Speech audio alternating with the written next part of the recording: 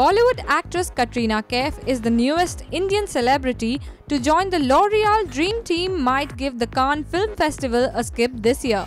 As a part of the brand's promotional campaign, its brand ambassadors always represent the brand on the Cannes red carpet and are invited to grace the film festival.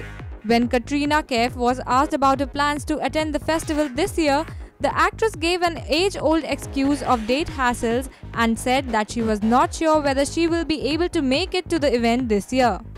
We're, we're seeing if we can. It's probably going to be very unlikely because due to Bang Bang being a little delayed, there's a little too much date problems between Bang Bang, between Phantom, between um, Anurag Basu's film. So it may not be this year, but next year.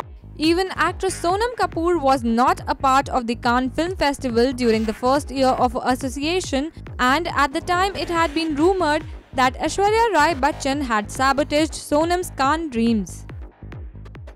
This report was brought to you by NNIS.